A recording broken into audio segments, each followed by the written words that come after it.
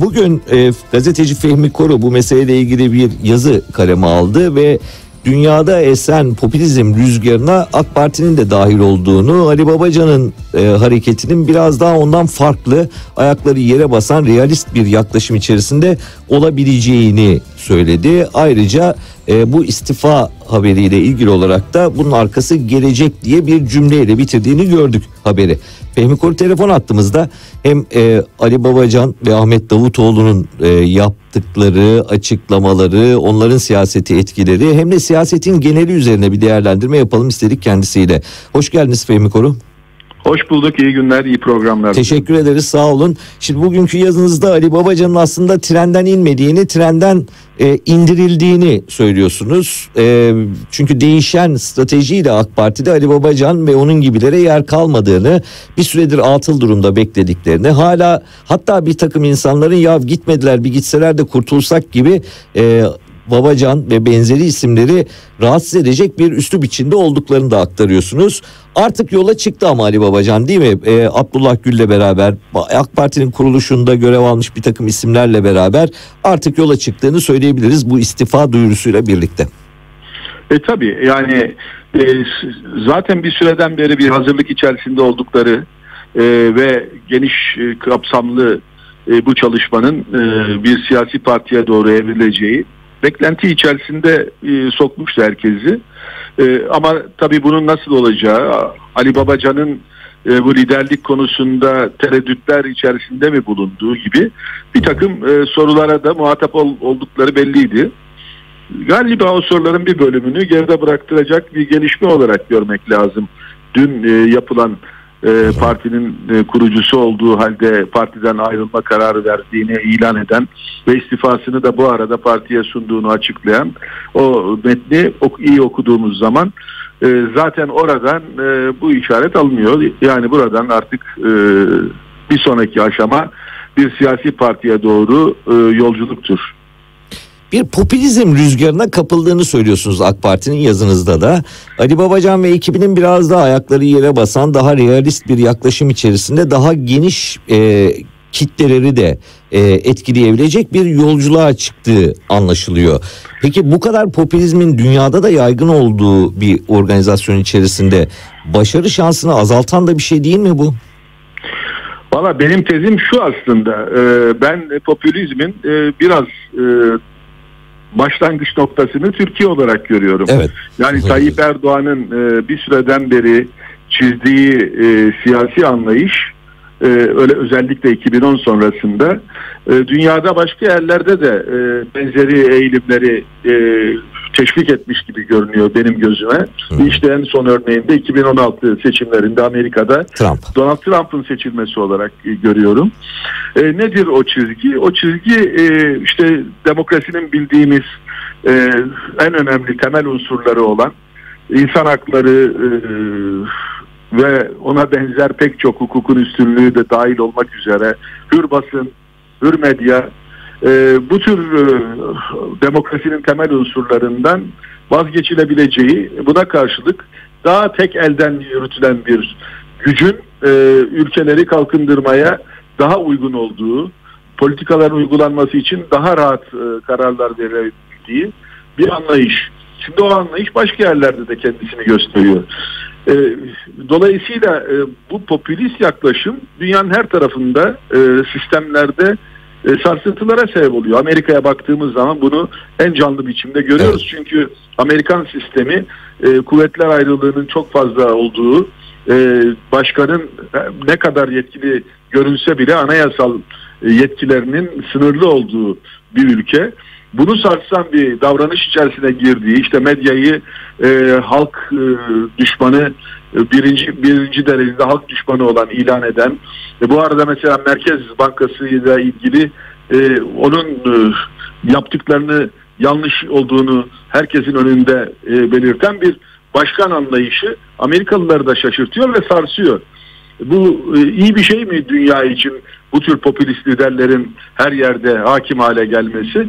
Ben bunu e, doğru bulmuyorum ve dolayısıyla e, baktığım zaman Ali Babacan ve onunla birlikte hareket edecek insanlarda e, biraz bu popülizme karşı bir havanın estiğini görüyorum. Çünkü e, dün açıkladığı metne bakarsanız istifasını evet. açıkladığı metne orada da e, Ali Babacan'ın altını çizdiği, vurguladığı esaslar işte demokrasinin temel unsurları olarak gördüğümüz esaslardır.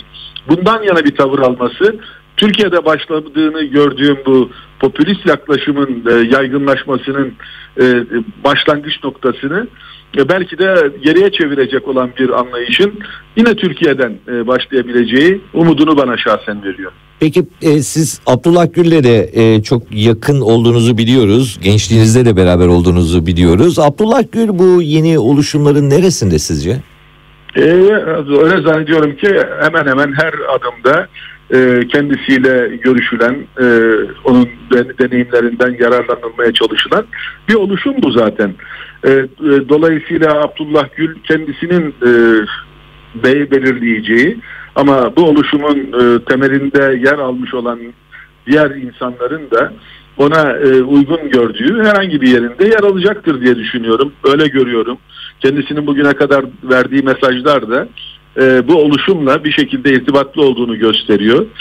E, o bakımdan mesela en son D8 e, evet. biliyorsunuz Necmettin Erbakan'ın başlattığı bir hareketti. Evet. Onun 22. yıl dönümüyle ilgili İstanbul'da yapılan toplantıya katıldı Abdullah Gül.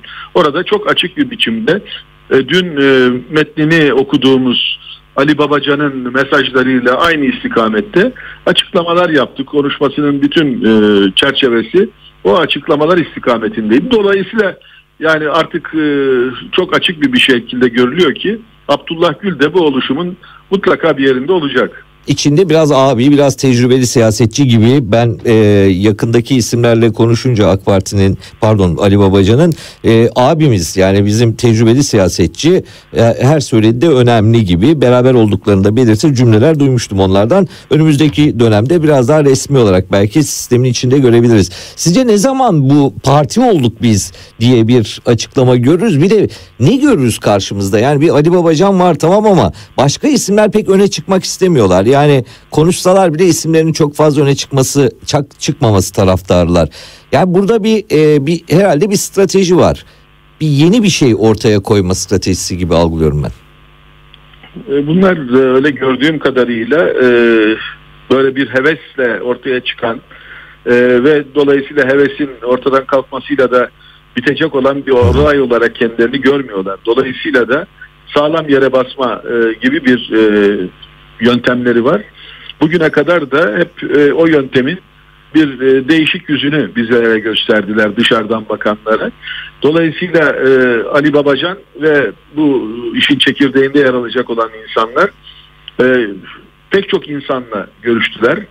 E, ve o insanların partileri de yer alması, kurulacak olan partide yer alması konusunda e, ve o partinin nasıl bir parti olması konusunda istişarelerini sürdürdüler. O istişare sırasında elbette e, dışarıya e, yansıtma e, noktasında ihmalleri oldu ama bu ihmalin de anlayışlı e, anlayışla karşılanması lazım. Çünkü yine popülist anlayışların hakim olduğu ülkelerde insanlar böyle bir oluşum e, kendisini iyice belirgin hale dönüştürünceye kadar onunla birlikte adlarının anılmasını istemeyebilirler çeşitli sebeplerden. E, dava açılıyor işte yani Ali Babacan'a bile açıldı en son. E, ya açılıyordu neredeyse. E, yani bugüne kadar isimlerin pek ortalıkta dolaşmamasının e, sebepleri olabilir. Ama e, dünden itibaren daha değişik bir yöntem mutlaka izleyeceklerdir. Ben çok uzun yıllardır siyaseti izlemeye çalışan bir gazeteci olarak e, böyle yeni oluşumların ortaya çıktığı dönemlerde ister istemez bir başlangıç noktasının var olabildiğini görmüştüm. O nokta dündü. Bundan sonra biraz daha herhalde e, açık e, olma ihtiyacı duyacaklardır. Ne olabilir bundan sonra diye hepimizin hı hı. düşünmemiz lazım. O düşündüklerimiz istikametinde gelişmeler herhalde yaşanacaktır. Bir Daha e, topluluğa, topluma açık hı hı. bir takım faaliyetlerini görebiliriz. Bir kişi partisinden çok kadro partisi görüntüsü e, vermek istediklerini kadro anlıyorum. Kadro partisi anladığım kadarıyla. Hı hı. Yani e, bir defa e, şunu galiba e, belirlenmiş noktalar e, durumdalar. O da e, belirlediklerini düşündüğüm e, nokta şu. E, AK Parti'nin e, uzantısı ya da işte öz hakiki AK Parti gibi bir parti değil. Bugünün 21. yüzyılın artık 20 yılını geride bırakmış bir dünyasında o dünyanın özelliklerinin Türkiye'ye yansıyan özellikleri de dahil olmak üzere bunları iyi değerlendirip tahlil edip bundan sonra neler yapılması gerekiyorsa onları yapmaya gayret edecek insanlarla birlikte hareket eden ve ona söylediğim çerçeveye uygun bir programı da hayata geçirmeyi hedefleyen bir siyasi parti olacaktır diye ee, yeni bir parti yani AK Parti'nin devam değil yeni bir parti herhalde. Hep en, yeni bir anlayış, evet, hep yeni bir, anlayış. bir yaklaşım, hep yeni e, kadrolar. Elbette AK Parti'nin kuruluşunu hatırlayalım. AK Parti aslında Refah Partisi çizgisinde e, bir parti olacakmış gibi göründü ilk e, bakıldığında. Ama bundan kaçındılar.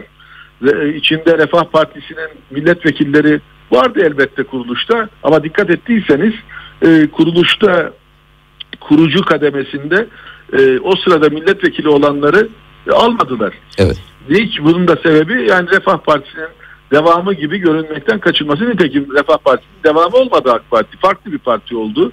Ve e, o farklılığını da işte iktidarda bulunduğu yıllarda e, herkese gösterdi. Zannediyorum bu defa da aynı şey olacak. Yani her ne kadar e, ilk çıkışı Ali Babacan gibi bu arada ismi geçtiği için Abdullah Gül gibi daha önce AK Parti'de önemli konumlarda bulunmuş olan insanlar ve onlarla birlikte olan başka AK Parti geçmişi bulunanlar olsa da e, daha geniş bir kitlenin e, desteğinde olduğunu gösterecek başka isimler yani bir kadroyla birlikte hareket ettiklerini göstereceklerdir. O kadroyu gördüğümüz zaman kimlerden oluştuğu iyice anlaşıldığı zaman öyle zannediyorum ki nasıl bir parti olacak hakkında da daha fazla konuşabiliriz. Daha karara varmamız mümkün Doğru. olabilecek. Mahir Ünal'ın bir açıklaması var. Buradan yola çıkarak e, iki sorum kaldı onları da sorayım yönelteyim. Eğer böyle bir iklimde Türkiye genelinde %52 İstanbul'da %45 oy alıyorsak bu siyasette doldurulacak bir boşluğun olmadığını gösterir. Onun için Babacan olayının siyasette bir karşılığı yok diyor Mahir Ünal.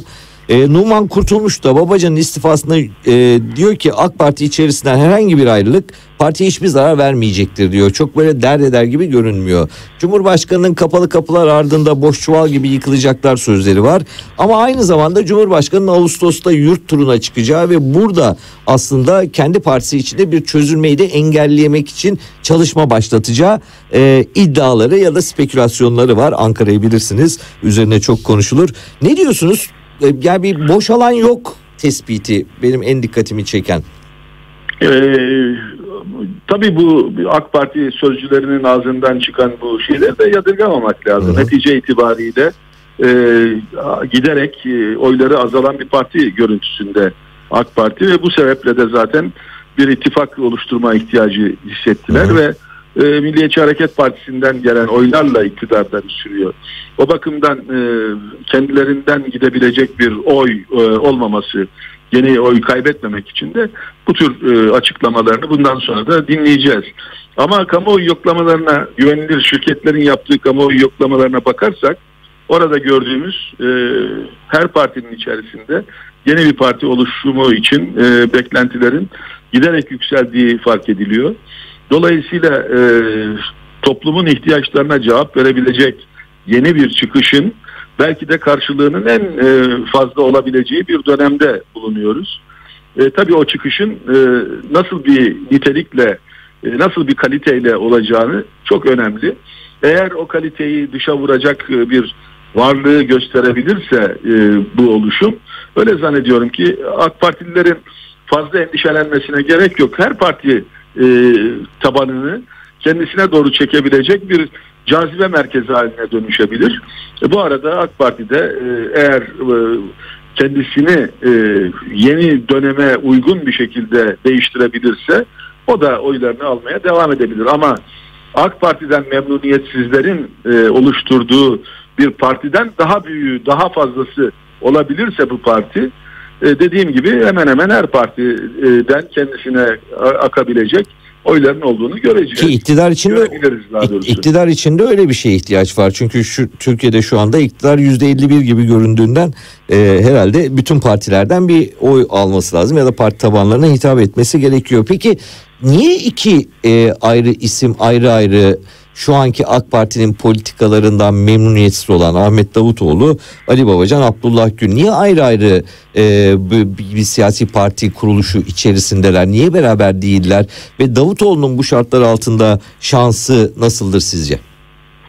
Benim görebildiğim kadarıyla bu sorduğunuz soru biraz eski bir soru. Ee, yani bundan birkaç ay önce bu tür sorular sorulabiliyordu.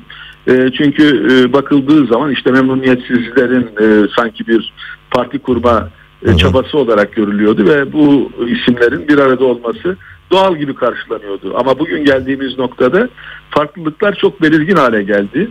E, Ahmet Davutoğlu e, bir süre önce 15 e, sayfalık bir e, manifesto, manifesto açıkladı. Yayınladı. O manifestoya baktığınız zaman e, dün e, yayınlanan e, Ali Babacan'ın ayrılış e, gerekçelerini anlattığı istifa mektubuna eşlik etmek üzere kaleme alınmış olan açıklamasıyla e, pek uyuşan tarafları yok. Dolayısıyla e, birisinin e, yaklaşımıyla ötekinin yaklaşımı arasındaki bu farklılık farklı partilere dönüşmeyi kaçınılmaz hale getiriyor. E, bunda da pek rahatsızlık duyulmaması lazım. Yani netice itibariyle siyasi partiler kendilerine yakın olan insanları kendilerine çekecek ve onların temsilcisi olarak da siyasi hayatta yer alacaktır. E, Ahmet Davutoğlu'nun o manifestosu e, çerçevesinde düşünen ve onun e, Türkiye'de iktidar olmasını arzu eden insanların gideceği adres Ahmet Davutoğlu'nun eğer kurarsa partisi olacak.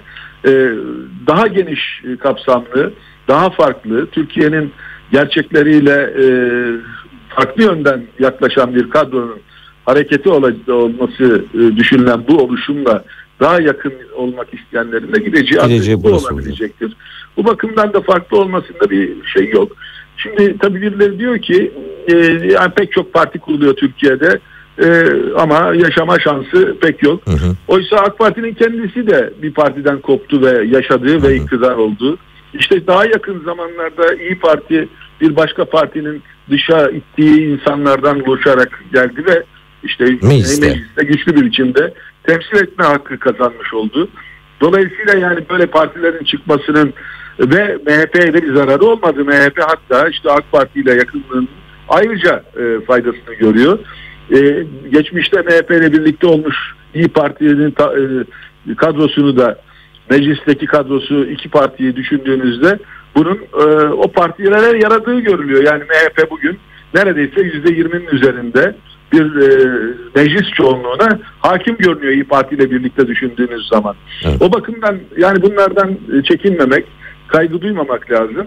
Böyle partilerin olması ve temsil e, açısından da milletten oy alabiliyorsa bu temsilini meclise taşıması istenebilecek bir şey olması lazım.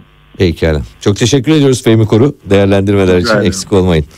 Gazeteci Fehmi Koru ile konuştuk. Bu yeni oluş